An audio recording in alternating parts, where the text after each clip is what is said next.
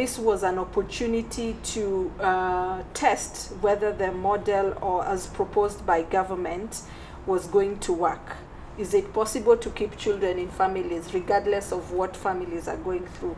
Is it possible to reintegrate children back into families? So we were demonstrating that it's actually possible despite the circumstances that the families are going through, that uh, circumstances that are there in the, in the community.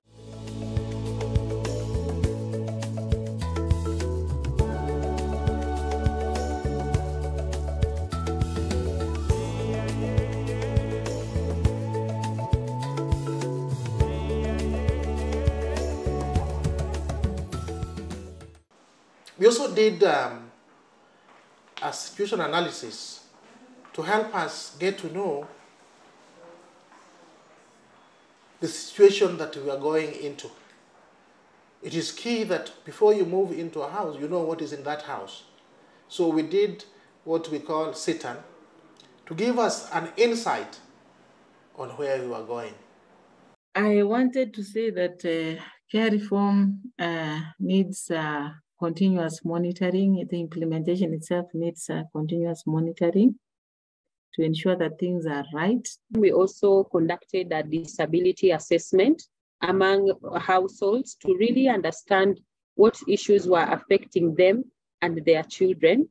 And we, based on the assessment, we were able to understand that there was need to support the families to really gain the knowledge on how to support their children, find value in, in loving their children and regarding them as as any other child and really accord them the support that uplifts their dignity. From the pilot pro, pro uh, county, the evidence that we got there is what we are using now to do the scale up for these other demonstration counties.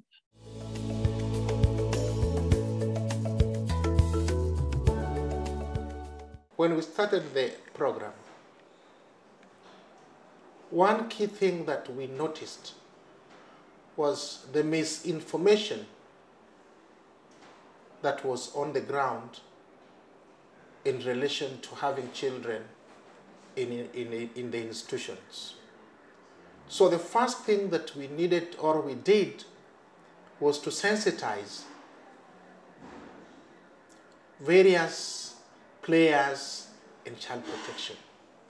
Working on the attitude uh, and practices among the families is also very key because with all these interventions, if the attitude of the family and the child is not supported, and even the community that is receiving the child, then uh, their efforts to promote family and community-based care might, might be in futility.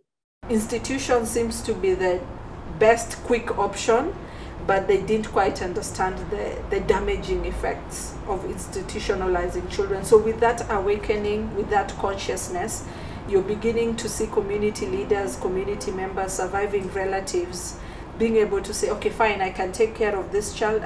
With the continued trainings, we came to internalize and get the actual concept of care reform. And we also came to know and to realize that there were advantages in supporting children while at home than supporting them while they were staying within the institution.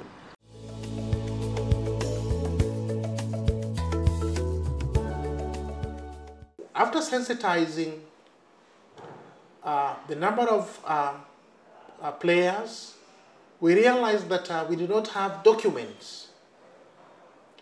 We did not have documents to use, documents that would help us we do not have um, structures. We do not have a standard operating procedure that would help us move in a more structured way that can be replicated in other counties when the time comes. We have the guidelines for case management for reintegration. Then standard operating procedures were developed for all the options. So the option on kinship care, the option on foster care, the option on adoption, guardianship, kafala, and supported independent living. And all along, the officers in Kisumu, in Nyamira, in Kilifi were engaged to see whether it was working. Yeah, the integration process, the lessons I've learned is also that uh, it is not as complex as one might think it is. As long as you are, you lay your, your, your foundation well, as long as you do your case management well, then you are bound to succeed. Cases of relapse won't be there.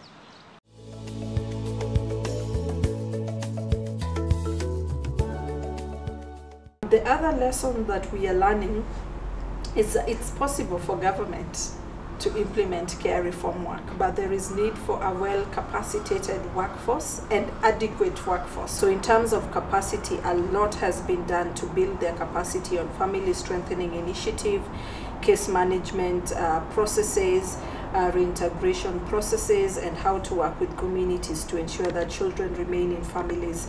So in Kisumu and Nyamira counties, the, the, the cadre of frontline workers with whom we work with are now well trained and empowered to do this work. continuously. Uh, we were trained on how to do the assessment. Which cases do we begin with first? How do we prepare the child? How do we prepare the family? And at what stage do we say that a child now qualifies to be reintegrated back home? And then after reintegrating, do we just leave a child at that point or do we continue doing our, our, our monitoring? So the trainings actually equipped not just a few of us, but nearly all of our staff on how to go about the reintegration process. We used the structures that are there. There is a, a community structure in Kenya known as Child Protection Volunteers.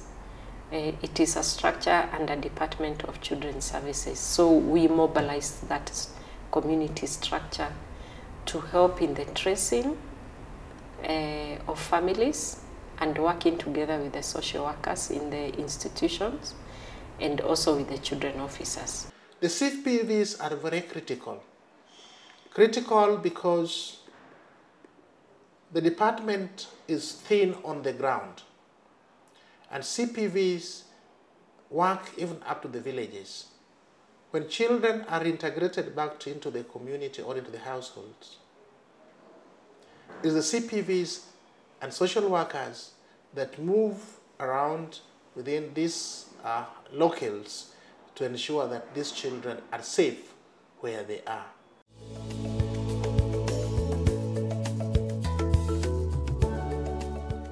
In this program, we work with three categories of people. One is families at risk of separation.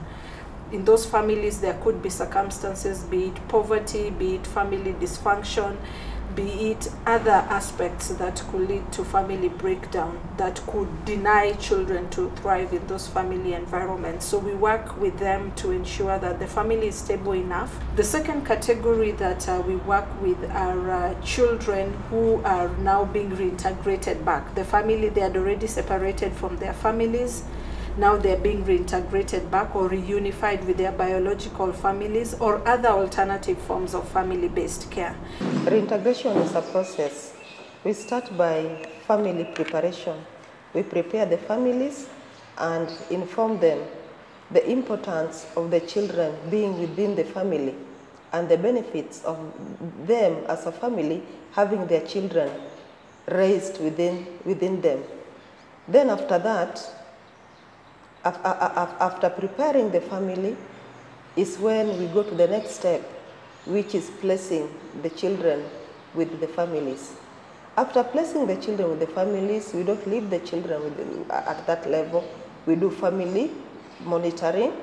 We monitor the children in the family levels. We also monitor them while they're in schools. The third category that we work with are caregivers, children, young people who have been in care and now they are graduating from care and now they are supported to live independently within the community. We are trying to expand uh, the program in a way that it is responsive to the needs of the children with disability and their families. And uh, what happened, again, together with changing the way we care, we supported um, uh, pieces of work on disability, one of them looking at the assessment and the needs, which has led to development of um, guidelines to, support, not guidelines, support package for families with children with disability, plus techni technical guidance on children with disabilities.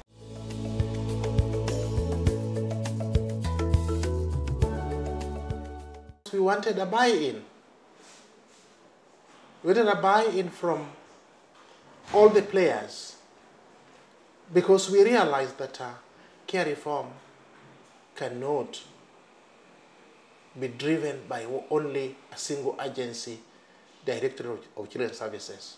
We had to bring everybody else in the program to do their bit, to do their, their role as prescribed for them. Most of the time, we are in technical working groups with the care reform partners, that is SOS and UNICEF. And the other times, we are planning jointly on activities that need to be implemented. And we have really been working in a, in a very good way that we have not duplicated our support to the children and the families. And we are able to all rally on the efforts of the Department of Children's Services. During our venture into supporting disability inclusion activities, we have worked with, uh, we, we, we were able to mobilize the disability inclusion stakeholders and support them to establish networks. The work with the traditional leaders, religious leaders, community leaders is very important because uh, they, when inspired, they pioneer change within their communities. They take lead and take action towards ensuring that families are adequately supported and that the children who are at risk of separation then are able to get the support they need so that they can stay.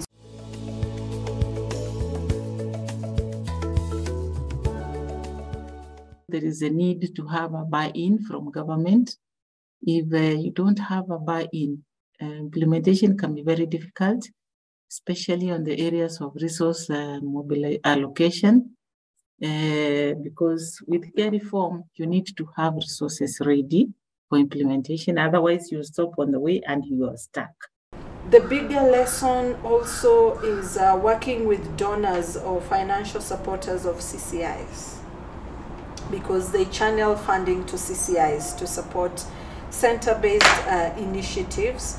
Um, so it is quite critical to do advocacy at global, at regional level with the donors who support CCI so that they can transform their support towards family-based care. Most important thing is to convince the donor. It is we to make them know the benefits of supporting a child while staying within a household so that they also buy in the idea that we have because unless they accept it, then as an organization you cannot go it alone.